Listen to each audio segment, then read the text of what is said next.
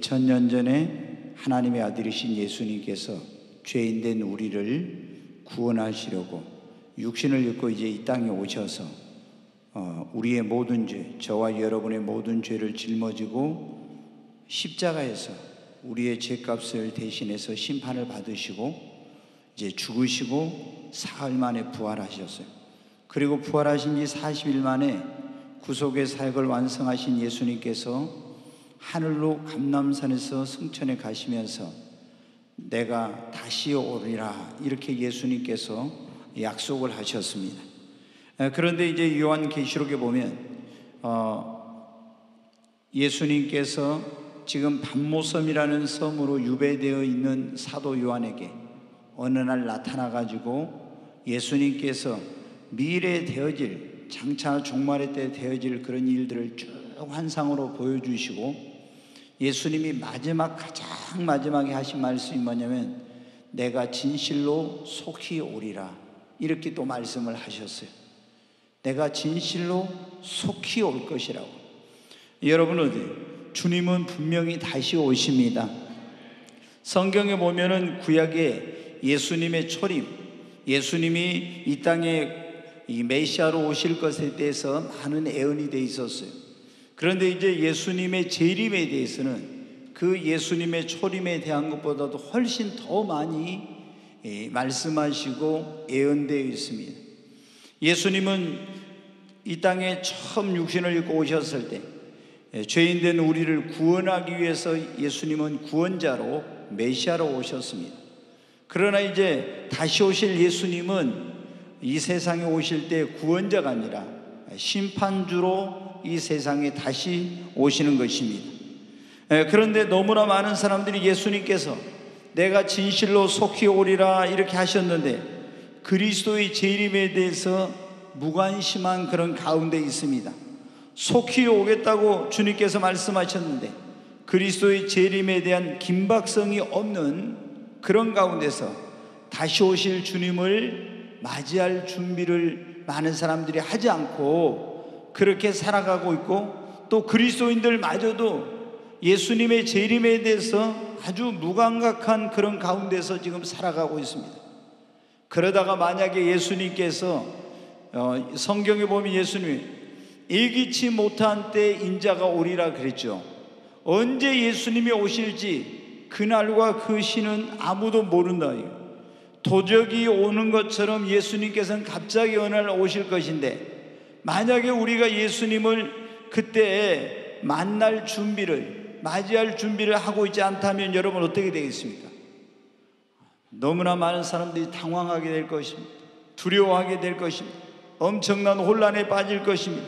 그리고 어떤 사람들은 통곡하게 되고 땅을 치면서 후회하게 될 것입니다. 그러나 이미 늦은 거예요. 그때는 후회해도 땅을 치고 통곡하고 그래도 소용이 없는 겁니다. 그러므로 우리는 정말 여러분 어때요? 건강한 종말 신앙 그리고 재림 신앙을 가지고 다시 오겠다고 약속하신 주님의 재림을 부끄러움 없이 두려움 없이 기쁨으로 맞이할 수 있는 여러분 준비를 해야 합니다. 우리가 확실하게 예수님을 맞이할 준비를 하고 있다면은 주님이 언제 오시든지 두렵지 않고 그리고 기쁨으로 주님을 맞이할 수 있는 거예요. 근데 주님을 맞이할 준비가 되어 있지 않으면은 아, 예수님 속히 오신다고 주님이 오신다고 이런 말씀을 들으면 여러분 어떻게 불안해지고 두렵고 이런 마음이 드는 것이죠. 오늘 이 본문의 말씀은 예수님께서 반모섬에서 세상 마지막 때에 있게 될 일들을 사도 요한에게 계시해 주시며 내가 속히 오겠다 이렇게 말씀하셨어요. 그때 세례 아, 사도 요한은 뭐라고 합니까? 아멘 주 예수여 오시옵소서. 아멘 주 예수여 어서 오시옵소서. 이렇게 주님이 오시겠다고 할 때, 아우, 주님 좀 이따 오세요. 지금은 아니에요. 이렇게 하지 않고, 내가 속히 오겠다고 하니까, 아멘, 주 예수여 오시옵소서 그랬지 않습니까? 여러분, 어떤 사람들은 예수님이 속히 오신다고 하면 두려워합니다. 또 어떤 사람은 아닙니다. 주님 조금만 더 있다 오세요. 지금은 아니거든 조금 더 있다 오세요. 아니면 어떤 사람들은 안 오셨으면 심지어 그런 마음을 가지고 있는 사람들도 있어요. 여러분, 왜 그럴까요? 주님을 오신다고 하면 반갑게 기쁘게 맞이할 준비가 안 돼 있으니까 그래서 주님이 오신다는 것이 두렵고 주님이 오신다고 하면은 어, 좀더 속히 오시지 말고 늦게 오셨으면 아니 안 오셨으면 이런 마음이 드는 거예요. 그러나 여러분 예수님을 맞이할 준비가 되어 있는 사람 그 사람은 어떻게 합니까? 사도 요한처럼 아멘 주 예수의 오시옵소서 이렇게 할 수 있는 겁니다. 여러분 여기 는 저와 여러분 모두가 사도 요한처럼 주님이 속히 오시겠다고 할 때 아멘 주 예수의 오시옵소서라고 주님의 오심을 환영하고 기뻐할 수 있는 모두가 되시기를 주의 이름으로 축원합니다.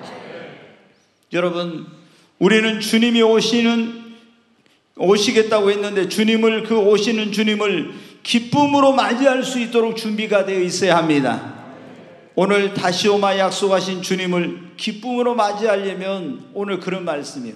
여기 그랬잖아요. 속히 내가 진실로 속히 오리라 그랬지 않습니까? 근데 이 주님이 속히 오시겠다고 했는데 이 주님이 오시는 것을 우리가 기쁨으로 맞이하려면 어떻게 해야 되냐? 여러분, 우리가 주님이 오실 때 그 주님을 기쁨으로 맞이하려면 어떻게 해야 돼? 나와 내 집이 구원을 받아야 합니다. 여러분, 우리가 예수님이 오신다고 할 때 나와 내 집이 구원받지 못한 가운데 있으면요. 아, 주님 오신다는 게 이게 두렵고 아, 지금 오시면 안 되는데 막 이런 마음이 들고 그런 거예요. 가장 먼저 여러분 어떻게 돼요? 우리 주님이 다시 오실 때 우리가 기쁨으로 주님을 만날 수 있으려면 어떻게 돼요? 바로 나 자신이 먼저 확실하게 구원받고 구원의 확신을 가지고 있어야 합니다. 많은 사람들이 예수님을 믿고 교회를 다니면도 구원의 확신이 없으니까 예수님 오신다고 하면 여러분 어떻게 두려운 거예요. 예수님 내가 믿는다고 하는데 교회를 다니는데도 구원의 확신이 없어. 그러니까 주님 오신다고 하면은 기뻐해야 되는데 기뻐하지 못하고 불안한 겁니다. 다시 오시는 주님을 기쁨으로 맞이하려면 먼저는 나 자신이 확실히 구원을 받고 구원의 확신을 여러분 가져야 합니다. 여러분 제가 물어보죠. 여러분은 구원 받으셨습니까? 정말로 구원 받으셨나요? 지금 죽으면 천국 갈 수 있는 믿음이 있습니까? 다시 주님 다시 오시면 기쁨으로 주님을 만날 수 있습니까? 여러분 이 준비가 안 돼 있는 사람 예수님을 믿고 확실하게 구원받은 이 구원의 확신이 없는 사람은 주님이 오신다고 하면은 기뻐할 수가 없는 거예요. 그러나 내가 확실하게 예수의 피로 제산받고 구원받은 사람은 주님이 오신다고 하면 그 주님을 기쁨으로 맞이할 수가 있는 겁니다. 여러분, 우리가 먼저 우리의 신앙을 점검하고 주님 기쁨으로 맞이하려면 확실하게 구원받고 구원의 확신을 여러분 가져야 합니다. 여러분, 어떻게 구원받을 수 있습니까? 어떻게 구원받아요? 항상 우리가 구원받으려면 첫째 뭐예요? 회개해야 됩니다. 회개. 회개를 회개는 이게 그것은 여러분 어디 우리가 예수님을 아니 하나님을 등지고 내 마음대로 살던 삶을 하나님께로 완전히 삶의 방향을 전환하고 죄를 버리고 돌아서는 것 이것을 회개라고 하는 겁니다. 이렇게 회개하고 이 땅에 나를 구원하기 오셔서 십자가에서 내 죄를 짊어지고 대신 심판을 받으시고 죽으시고 죽은 자 가운데 삶 안에 부활하신 예수님을 어떻게 돼요? 믿어야 됩니다. 이걸 다른 말로 하면 예수님을 나의 구원자와 주님으로 뭐예요? 영접해야 돼. 그러면은 회개하고 예수님을 믿으면 영접하면 물과 성령으로 거듭나서 하나님의 자녀가 되는 역사가 일어나고 우리 이름이 생명책에 기록이 되는 것입니다. 여러분, 어, 근데 이제 지금 보면은 교회를 다니면서도 이 회개가 불분명한 사람들, 확실하게 하나님께로 확실하게 예수님께로 삶의 방향을 전환하지 않고 그냥 믿기만 하는 머리로 이런 가운데 있는 사람들이 대부분 구원의 확신이 없어요. 우리가 주일학교나 이럴 때 어렸을 때부터 교회를 다니면서 계속 이 복음을 들은 사람들은 자기가 언제 구원받았는지를 몰라요. 그렇지 않아요? 어렸을 때부터. 동갑고도 못 가요. 예뻐도 못 가요. 막 믿음으로 가는 나라, 하나님 나라 이런 식으로 계속 어렸었다니까 언제 예수님을 믿었는지를 모르는 거예요. 그러나 성장해가지고 내가 교회에 나와서 복음을 듣고 예수님을 믿은 사람은 자기가 정말 여러분 어떻게 내가 예수님을 통해서 죄 사함 받고 내가 구원받아 하나님의 자녀가 됐다. 이런 확신이 딱 들어서 이런 죄 사함 받은 그런 확신이 생긴 날은 얼마나 감격스럽고 얼마나 기쁨. 그래서 성장해서 예수님 믿은 사람은 거듭남의 체험을 하게 되면 확실한 어떤 그 날이 언젠가 시간이 지나면 모르지만은 그런 체험이 확실하게 있는 거예요. 그런데 그리고 그 구원의 감격과 기쁨을 내가 맛보는 거잖아요. 그래서 어 정말 그때부터 내가 예수님을 확실하게 믿고 구원받았을 때부터 삶의 변화가 일어났거든요. 근데 이렇게 예수님을 교회 나가서 믿었는데도 불구하고 아, 내 죄사함의 그런 어떤 기쁨, 내 삶의 어떤 놀라운 삶의 변화가 일어나 이런 걸 경험하지 못했다면은 이거는 진짜 구원받았을까 생각해 봐야 돼요. 여러분 예수님께서 이 땅에 육신을 입고 구원자로 오심으로 말미암아 주전과 역사가 주후로 바뀌었잖아요. 예수님이 내 인생 가운데 오시면은 내 인생에도 예수님 믿기 전과 예수님이 내 마음 가운데 내 삶 가운데 오신 이후의 삶 이 삶이 완전히 어떤 그 어, 달라지는 그런 기점이 있어요. 그런데 예수님 내가 믿어도 삶의 변화도 없고 예수님 내게 오시기 전이나 후나 뭐 아무런 차이가 없다면은 이건 진짜 구원받았는지 우리가 이거를 점검해 봐야 되는 겁니다. 여러분, 정말 여러분 안에 확실하게 사제, 구원의 제사함 받은 그런 구원의 감격과 기쁨, 여러분이 예수님을 영접함으로 말미암는 여러분의 삶에 놀라운 변화가 있었기를 바랍니다. 네. 우리가 여러분을 때 가장 중요한 건 예수님이 재림하실 때 기쁨으로 주님을 맞이하려면은 나와 내 집이 구원을 받아야 돼. 내가 구원을 받아야 돼요. 아멘. 그리고 어, 내가 구원을 받을 뿐만 아니라 또 우리 집이 어떻게 돼요? 구원을 받아야 되죠. 아니 예수님 오신다는데 내 부모가 구원받지 못하고 내 자녀가 구원받지 못하고 내 남편이 구원받지 못하고 내 형제들이 구원받지 못하고 여러분 이런 가운데 있으면 어때요? 예수님 오신다면요 얼마나 마음이 무거운지 몰라 예수님 오시면 어떻게 되겠습니까? 구원받지 못했는데 내 사랑하는 사람들이 주님 오시면 여러분 예수님이 재림하시는 것은 조금 전에 말씀드린 이 세상의 심판주로 오시는 거예요 근데 구원받지 못했으면 그 사람들이 어디 갑니까? 내 사랑하는 사람들이. 백보자 심판대 앞에 가 심판받고 이제 지옥에 가야 될 건데. 그러니까 여러분 어떻게 내 가족들이 구원받지 못한 사람은 아멘 주 예수의 오시옵소서. 이거 할 수가 없어요. 그렇잖아요? 여러분은 할 수 있어요? 여러분이 여러분의 자녀들이 여러분의 부모님이 여러분의 형제들이 남편이나 사랑하는 사람들이 구원받지 못했는데 내가 진실로 속히 오리라 그런데 아멘 주 예수의 오시옵소 할수 있습니까?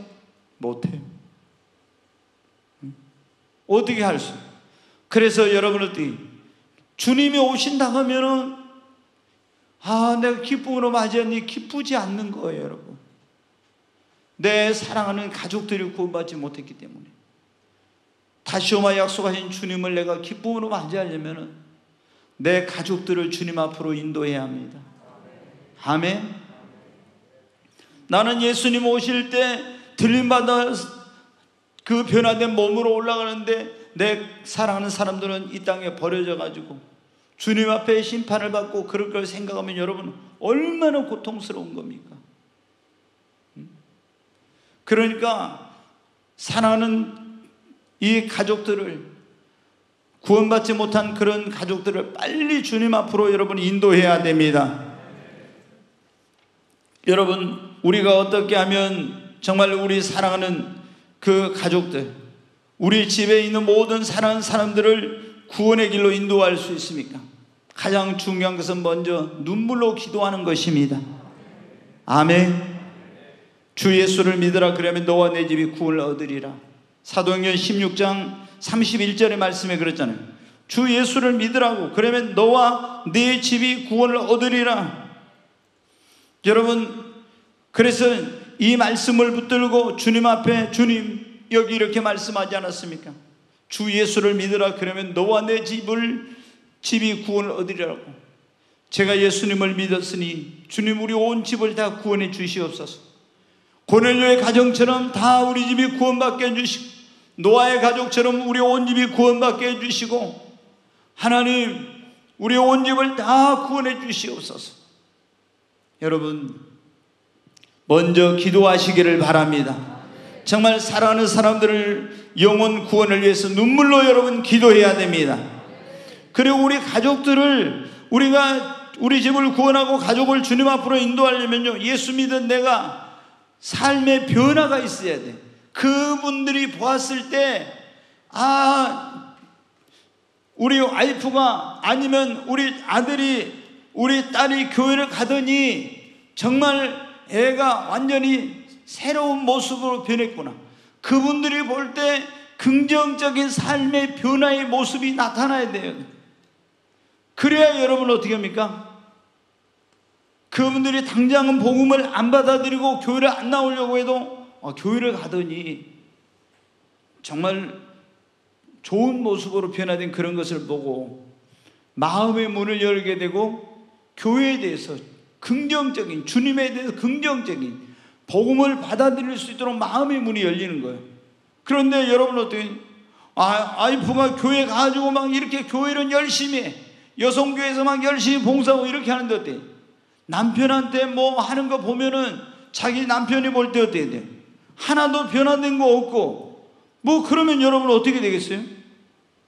남편한테 교회 가져가면 그 남편이 교회 가겠습니까? 안 가는 겁니다, 여러분. 예수님은 안 믿어요.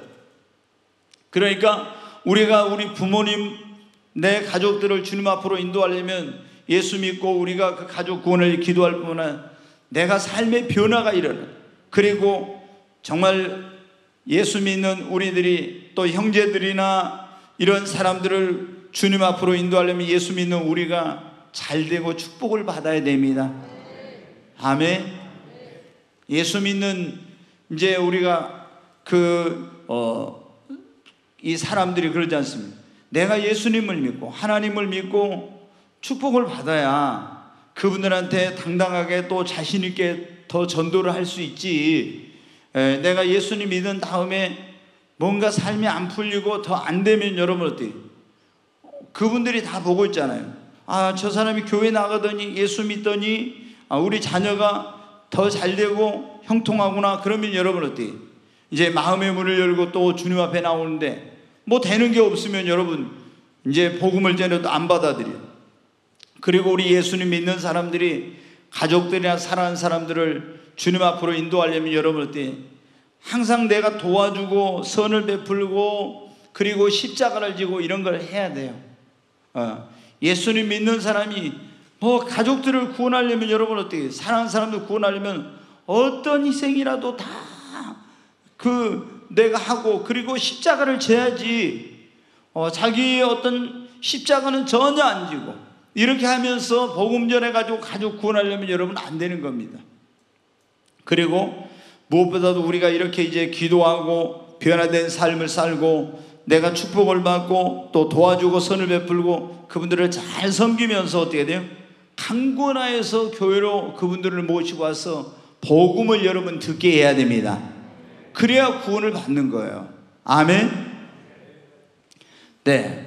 여러분 우리가 주님이 오신다고 할 때 이 주님이 오시는 걸 기쁨으로 다시 오마 약속한 주님을 맞이하려면 먼저 중요한 것이 뭐라고요? 나와 내 집이 구원을 받아야 됩니다. 정말 여기 있는 여러분들은 다 구원 받으셨습니까? 제가 늘 여러분 말씀드리잖아요. 이 목사가 여러분을 위해서 하는 첫 번째 기도는 뭐냐면 우리 교회에 나온 사람은 주님 한 사람도 그냥 왔다 그냥 가지 않게 하시고 반드시 물과 성령으로 거듭나게 해주세요. 구원받게 해주세요. 이 기도를 먼저 합니다. 예, 네, 구원받아야지. 생명책의 이름이 기록돼야지. 그리고 주님 안, 주님의 몸된 교회에 정착하고 예수님 안에 신앙의 뿌리를 깊이 내리고 주님 믿음이 성장하여 반석과 같은 믿음 갖게 해주시고 이제 이런 식으로 기도하는 거예요. 그래가지고 또 주님을 닮게 해주시고 하나님 앞에 정말 귀하게 쓰임받는 그런 일꾼들 되고 하나님의 영광을 위해 살겠어요. 영혼이 잘 되고 범사자로 강건하게 해주세요. 이 기도를 하는 거예요. 첫 번째 근데 뭐예요? 여러분이 물과 성령으로 거듭나 구원받고 여러분 이름이 생명체에 기록되는 거예요. 이것보다 더 중요한 거 없어요. 음. 여러분, 여러분의 사랑하는 사람들, 여러분 자신이 구원받고 천국 가는 것으로 만족하지 말고 여러분의 사랑하는 사람들을 반드시 주님 앞으로 여러분 인도하시기를 바랍니다. 정말 가족 구원을 위해서 눈물로 기도해야 돼. 그래야 주님 오신다고 할 때 내 마음이 떨리지 않아. 두렵지 않아. 어, 주님 곧 오신다는 이런 설교만 들으면은 내 사랑하는 사람들이 구원받지 못하면 마음이 얼마나 힘든지 몰라요. 두 번째로 여러분 우리가 주님이 오실 때 기쁨으로 그 주님을 재림하시는 주님을 맞이하려면 우리가 하나님의 말씀과 성령의 인도를 따라서 여러분 살아야 됩니다. 예수 믿고 구원받았어도 하나님 말씀대로 살지 않고 내 마음대로 살고 내 뜻대로 살고 성령의 소유하는 육체의 소욕을 쫓아서 살면요. 주님 오신다 하면은 이런 사람은 기쁘지 않고 괜히 주님 오실 때 책망을 받을까봐 심판을 받을까봐 마음이 불안하고 초조하고 두려워지는 겁니다.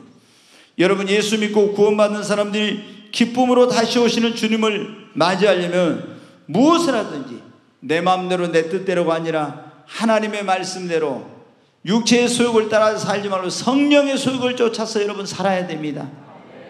아멘.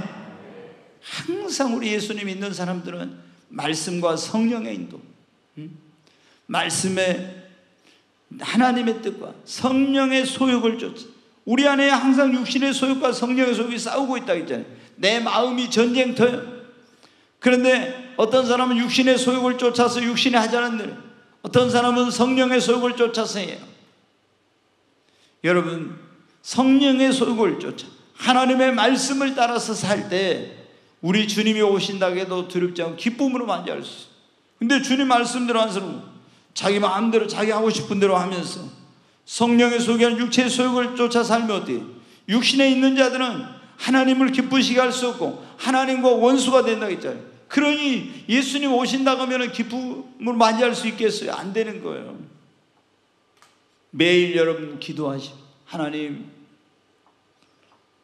내 정, 내 그게 사도와 우리는 우리는 그리스도 앞 십자가에 나의 정과 욕심을 못 받고 저도 이제 매일 아침에 그런 기도를 하나님 어, 갈라디아서 2장 20절 내가 그리스도와 함께 십자가 못 박혔나니 그런 적 이제 내가 산 것 아니요 오직 내 안에 예수께서 사신 것이라 주님 나의 정과 욕심을 십자가에 못 박습니다 오늘 또 주님이 내 안에 오셔서 나를 주관해 주시고 나는 죽고 그리스도로 살게 해주세요 오직 내 몸에서 내가 살든지 죽든지 그리스도만 존귀케 되는 그런 삶을 살게 해주세요. 이런 기도를 합니다. 이런 기도를 안 하면 언제 내가 주님의 영광 그분의 존귀케 하는 그것이 아니라 나 자신의 명예와 나 자신의 어떤 욕심과 이런 것을 따라서 살지 이건 모르는 거예요. 그러지 않습니까? 사람은 얼마나 이게 변하기가 쉬운지 몰라. 그래서 제가 이제 목사님들을 보면 그래요. 개척교회 때 그렇게 주님밖에 모르고 신실하게 막 정말 이렇게 했던 목사님들이 교회가 크게 성장하고 대형 교회가 되면요. 막 명예라든가 무슨 세상 이상한 거 있잖아요. 이런 것만 막 추구하는 거예요. 그럼 이게 어떻게 된 거예요? 하나님 앞에 가서 그거 어떻게 되겠어요? 변질된 거예요, 변질된 거.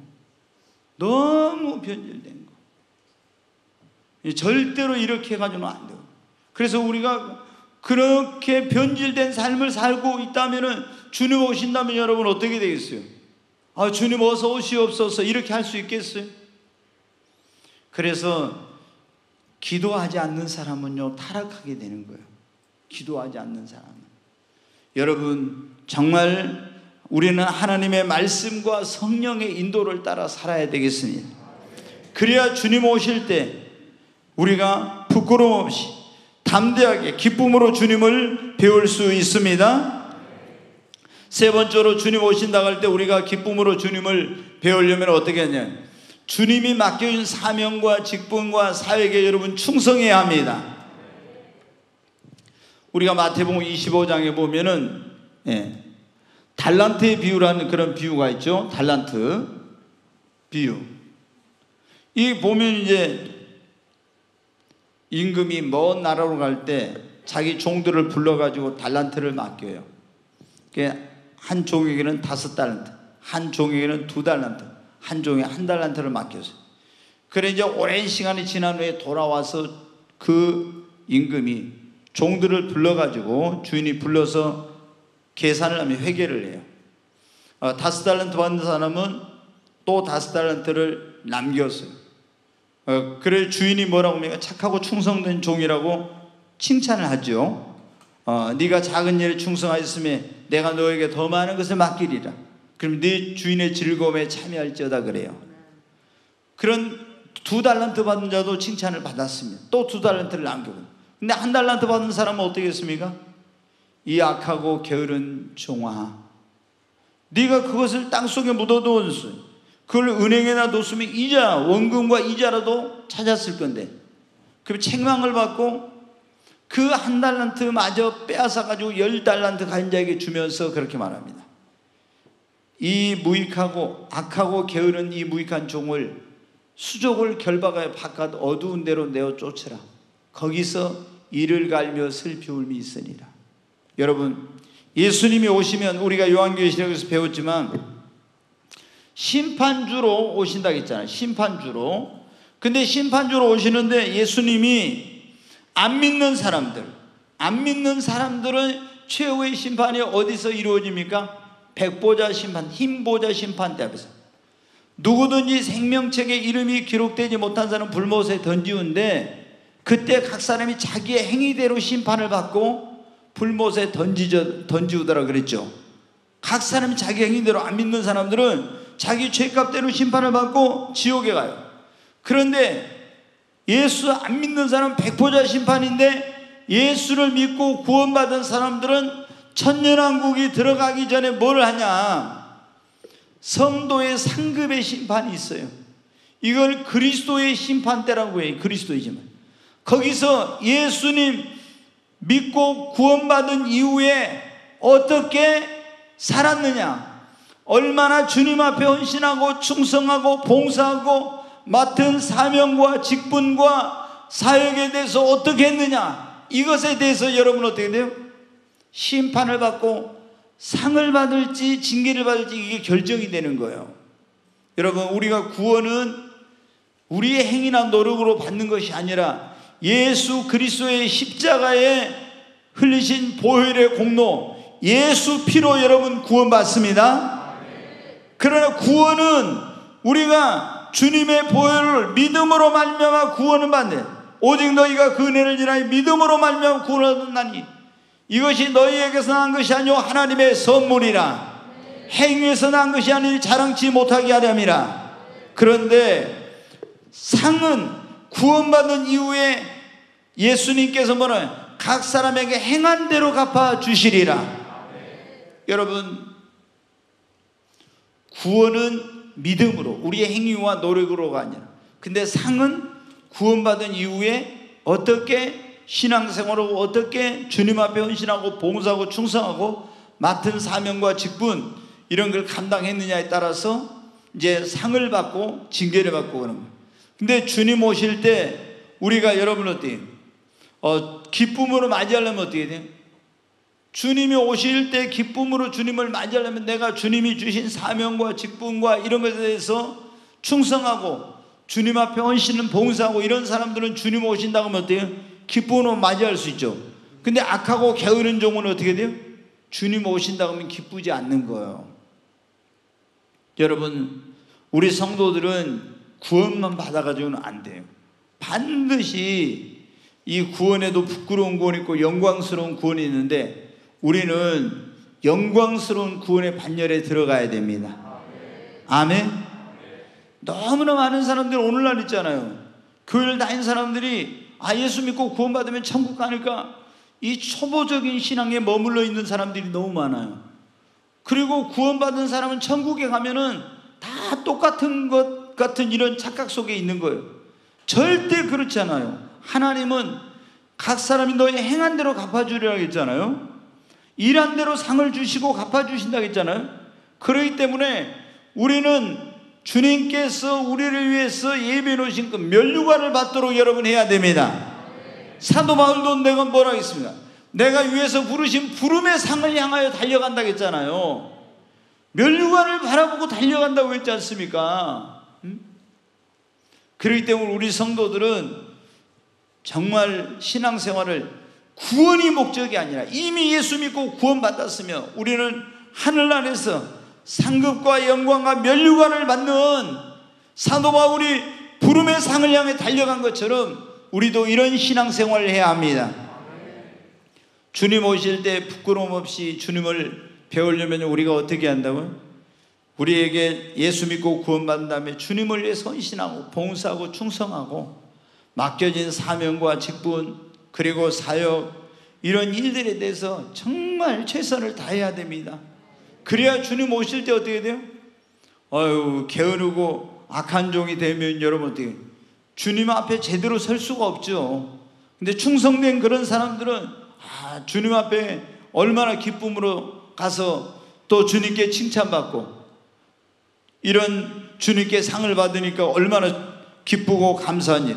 여러분, 우리 모든 성도님들이 정말 내가 진실로 속히 오리라고 주님 말씀하셨는데 그 요한계시록 22장에도 보면 어때? 보라 12절에 내가 속히 오리니 내가 줄 상이 내게 있어 각 사람에게 그가 행한 대로 갚아주리라 그랬잖아요. 아멘. 거기도 속히 오리라 내가 각 사람에게 그 행한 대로 갚아주리라 그랬지 않습니까? 여러분 우리 성도님들은 다 상을 받게 되기를 바랍니다. 상을. 신앙생활 편하게 하려고 하지 마십시오. 네, 신앙생활 여러분. 여러분이 그냥 교회에 예배만 왔다 갔다 형식적으로 있잖아요. 주일날 썬데이 크리스찬 돼가지고 그렇게 딱 예배 한 번 드리고 끝나고 아 그리스도인에서 뭐 다 한 것처럼 그렇게 하면 안 돼. 우리가 정말 나를 구원해 준 주님을 위해서 나는 너를 위해 모든 걸 줬구만. 넌 날 위해 뭘 했느냐고. 그러시면 주님 앞에 우리 뭐라고 하겠습니까? 나는 너를 위해서 물과 피를 다 쏟아. 난 너를 위해서 십자가를 줬고, 나는 너를 위해서 가시멸류관을 썼고, 나는 온갖 멸시와 수욕을 다 당하였다. 그런데 너는 나를 위해서 뭘 했느냐? 여러분, 우리가 그 주님의 은혜만 생각해도 얼마나 우리가 정말 몸이 내 몸이 천개 만결하게도 그 은혜에 다 갚을 수 없지만은 여러분 주님은 구원받은 우리에게 또 상급 영광 멸류관을 예비해 놓으시고 그걸 주시겠다고 약속했지 않습니까? 주님 오시는 그날이 정말 주를 위해서 산 사람들에게는 그날이 가장 영광스러운 날이고 복된 날이 되는 거예요. 그러나 예수 믿고 구원받았지만 주님을 위해서 아무것도 하지 않는 사람들은요, 그날이 부끄러운 그런 날이 되는 것입니다. 우리 꿈의 교회 모든 성도님들은 다 정말 주님 오심이 우리 모두에게 영광스러운 날이 되기를 바랍니다. 그래서 여러분이 내가 주를 위해서 뭘 할 수 있는가 한번 생각해 보세요. 그냥 뭐 나이는 나이가 먹었으니까 이제는 뭐 아무것도 못해 이렇게 하지 마요. 제가 이번 주일날 저녁에 말씀드렸지 않습니까? 온니엘은 그때 사사로 부름을 받았을 때 나이가 80세였다고. 어? 80세. 근데 여러분 어때요? 그때 뭐 수명이 또 굉장히 막 그 어, 몇백 세 살던 그런 시대가 아니었어요. 그때 이제 120세까지 살 때였는데 80세. 그 여러분들 굉장히 나이가 많아가지고 그런 주님을 위해서 목숨 걸고 가서 그 메소포타미아 왕 구산 리사다임과 싸워서 거기 그 자기 민족을 구원하는 그런 일을 했지 않습니까? 음? 그 여러분 어디 우리가 몸으로 할 수 없는 게 있으면 기도를 할 수도 있고 뭐든지 우리가 주님을 위해서 내가 그냥 몸만 왔다 갔다 하는 이런 사람이 되어서는 안 됩니다. 하나님께서 나를 그 구원해 주시고 베푸는 은혜를 생각하면 내가 나는 주님을 위해서 무엇을 할 것인가 생각해 보면은요 다 내가 할 일이 있습니다. 내가 정말 아무것도 아닌 거라고 생각했던 그것이 하나님 앞에 갔을 때는 얼마나 큰 상급이 되는지 모릅니다. 여러분, 우리 모두 정말 주님을 기쁨으로 맞이할 수 있도록 정말 주님 앞에 맡겨진 사명과 직분, 사역, 충성하고 정말 주를 위해서 헌신하고 봉사하고 주를 위해서 어떤 일이라도 하는 저와 여러분이 되십시다. 우리가 주님이 다시 오실 때 기쁨으로 주님을 맞이하려면 첫째 나와 내 집이 구원을 받아야 된다 했죠. 하여튼 여러분 구원받던 여러분 가족들을 다 주님 앞으로 빨리 인도하시기 바랍니다.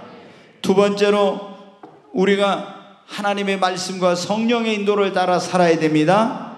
세 번째, 주님 맡긴 사명과 직분, 사역에 충성하고 주를 위해서 헌신 봉사해야 되는 것입니다. 이제 한 가지만 더 말씀을 드리고 마치도록 하겠습니다. 그리스도의 신부로서 우리는 예수님을 믿는 사람들은 그리스도의 신부인데 신부로서 단장을 잘 해야 주님 오실 때 부끄럼 당하지 않고 기쁨으로 주님을 만나서 혼인잔치에 들어갈 수 있습니다. 그러면 그리스도의 신부인 우리가 그 어린 양 혼인잔치에 참석하는 데 있어 가장 중요한 게 뭐냐? 두 가지예요. 신부단장에 있어. 첫 번째 뭐냐면은 성령의 기름 등불을 준비하는 겁니다. 아멘. 자, 좀 긴 말씀인데 한번 보겠습니다. 마태복음 25장 1절부터 보겠습니다. 같이 읽습니다. 그때 전국은 마치 등을 들고 신랑을 맞으러 나간 열 처녀와 같다 하리니 그 중에 다섯은 미련하고 다섯은 슬기 있는지라. 미련한 자들은 등을 가지되 기름을 가지지 아니하고 슬기 있는 자들은 그릇에 기름을 담아 등과 함께 가져갔더니 신랑이 더디옴으로 다 졸며 잘세. 밤중에 소리가 나되 보라 신랑이로다. 맞으러 나오라 하매 이에 그 처녀들이 다 일어나 등을 준비할세 미라는 자들이 슬기 있는 자들에게 이르되 우리 등불이 꺼져가니 너희 기름을 좀 나눠달라 하거늘. 슬기 있는 자들이 대답하여 가로되 우리와 너희의 쓰기에 다 부족할까 하노니 차라리 파는 자들에게 가서 너희 쓸 것을 사라하니. 저희가 살아간 동안에 신랑이 오므로 예비하였던 자들은 함께 혼인잔치에 들어가고 문은 닫힌지라. 그 후에 남은 처녀들이 와서 가로되 주여 주여 우리에게 열어주소서 대답하되 대답하여 가로되 진실로 너희에게로는 내가 너희를 알지 못하노라 하였느니라 그런즉 깨어 있으라 너희는 그날과 그 시를 알지 못하느니라. 아멘. 여기 보면 어, 열처녀의 비유가 나옵니다. 근데 신랑이 오기 전에 신랑을 만나서 혼인잔치에 들어가려면 반드시 뭐를 준비해야 돼요? 등에다가 뭐를? 기름을 준비해야 돼요. 근데 열 명의 처녀가 신랑을 기다리고 있는데 슬기로운 다섯은 등에다 등과 함께 기름을 준비했죠. 미련 다섯은 등만 있지 기름을 준비를 안 한 거예요. 근데 이제 신랑이 생각보다 더디 오니까 다 졸고 있는데 갑자기 신랑이 로다 신랑이 들러리들이 막 와서 소리를 하는 거예요. 그러니까 여러분 때 졸던 그들이 깨어가지고 신랑을 맞으러 이제 나가려고 하는데 보니까 미련 다섯 처녀는 등에 기름이 다 떨어져 가지고 등불이 꺼져 가는 거예요. 그래서 그 슬기는 다섯 처녀에게 기름을 좀 나눠 달라고 했더니 거절을 당했어요. 파는 자들에게 가서 사 가지고 오라고. 그래서 이제 그들이 사러 가는 동안에 신랑이 와 가지고 슬기는 다섯 처녀는 혼자한테 들어가 버리고 문은 닫혔어요. 이제 가지고 기름을 사 가지고 와서 보니까 이미 혼인 잔치에 그 집의 문이 닫혔네. 막 문을 두드립니다. 주여 주여 열어주소서.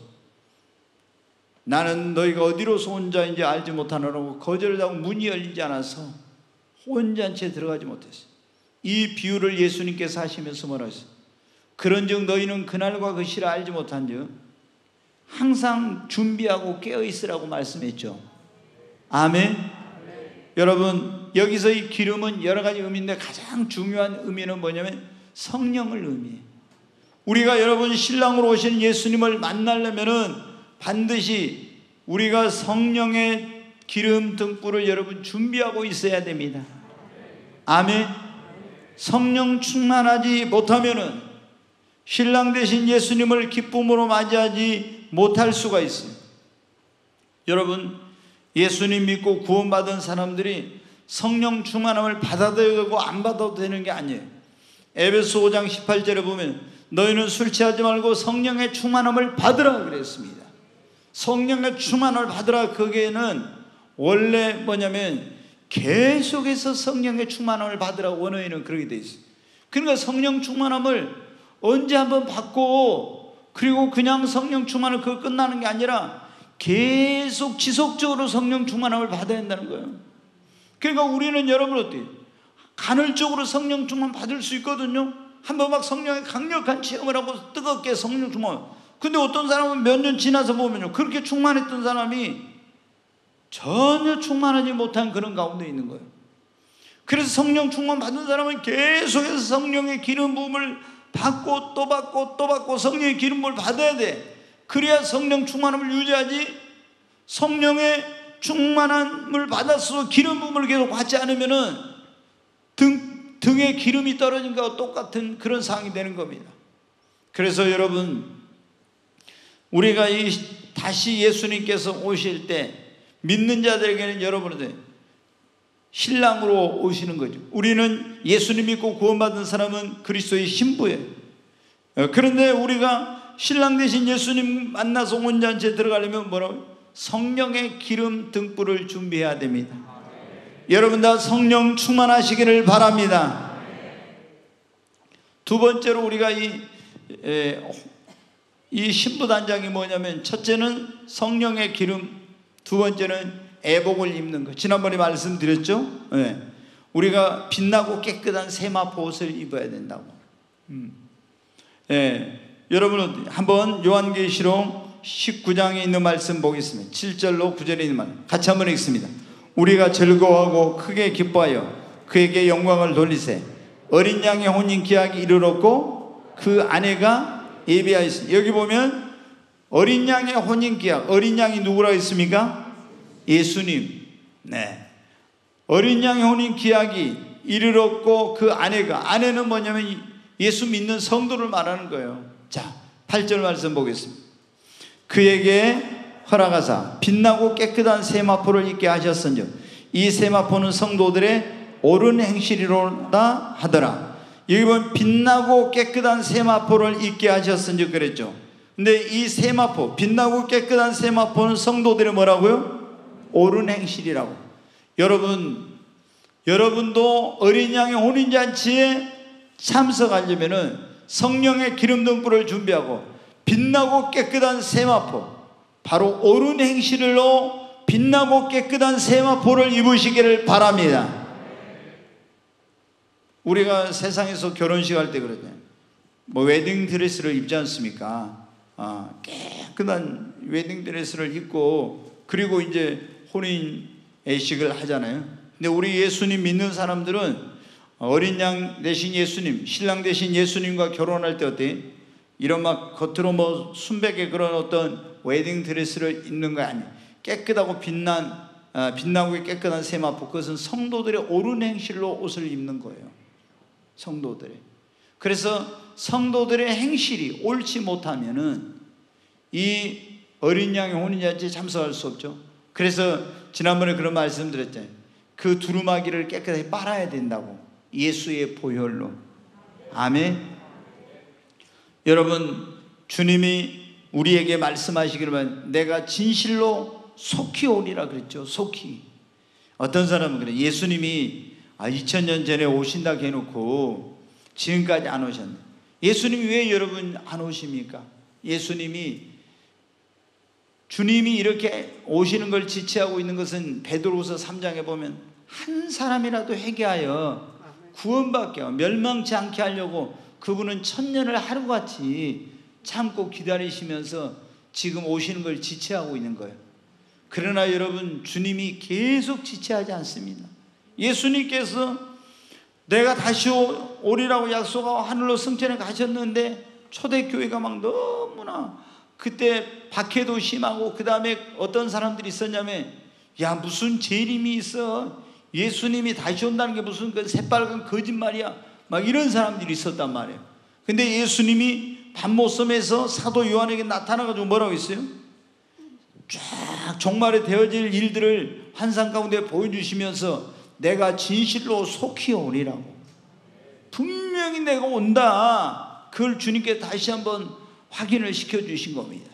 여러분, 예수님은 분명히 다시 오십니다.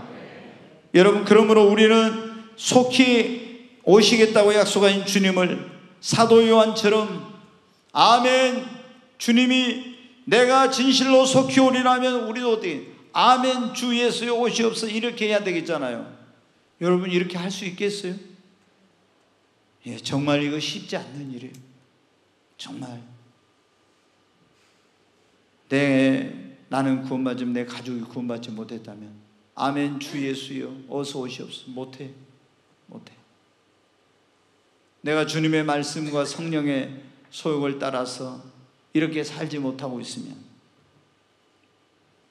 또 주님이 맡긴 사명과 직분 이런 걸 감당하지 제대로 충성스럽게 감당하지 못하고 있는 아멘 주 예수의 어시옵소 할 수 있습니까? 못해죠. 그리고 신부 단장을 하고 있지 않다면 이 기도는 할 수가 없는 거예요. 여러분, 주님은 분명히 다시 오십니다. 우리가 이제라도 정말 주님이 오신다 하면 우리가 기뻐하고 이 사도 요한처럼 아멘 주 예수에 어서 오시옵소서 이렇게는 못할지라도 아, 두려움 없이 부끄러움 없이 기쁨으로 주님을 맞이할 수 있도록 빨리 우리 가족들을 주님 앞으로 인도하십시다. 아멘. 정말 여러분 가족들이 자녀들이 부모님이 형제들이 남편이나 이런 사람들이 구원받지 못했다면 여러분 눈물로 기도해야 돼요. 눈물로. 그리고 우리는 내 육신의 소욕대로 내 생각과 내 뜻대로 살지 말고 말씀과 성령의 속을 쫓아 살고 그리고 하나님 앞에 정말 주님 앞에 충성된 그런 하나님께 맡겨주신 직분과 사명과 사역에 충성하는 그런 사람들 되고 또 그리스도의 신부로서 부끄럼 없이 그렇게 준비돼서 주님을 만날 수 있는 우리 모두가 되시기를 주의 이름으로 축원합니다.